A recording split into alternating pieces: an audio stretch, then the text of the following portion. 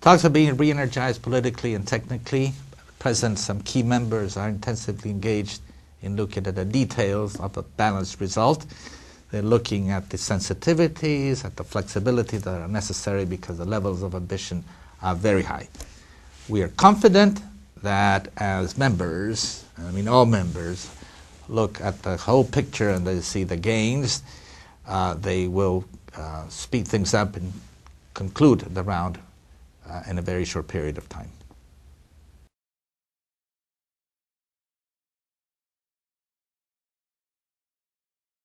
In several ways, uh, to cite a few, one, when you bring tariffs down, markets open, new business opportunities arise, and therefore also new investment opportunities are there. Uh, secondly, reducing transaction costs by facilitating the movement of goods across the borders, reducing red tape and improving the administrative procedures is something which is of high value to business. Thirdly, when you have more predictability, stability, and transparency because you have better rules, this also should improve the business environment, facilitating trade and investment.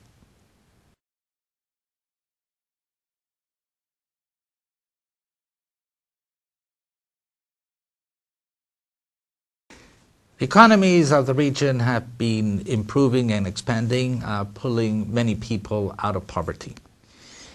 If this positive cycle is going to be expanded and sustained, it necessarily means that we must have a successful conclusion of the Doha round. My message will be to make business aware of the benefits and the gains, and also of the cost of failure so that they can act accordingly with the governments and their politicians in support of trade liberalization.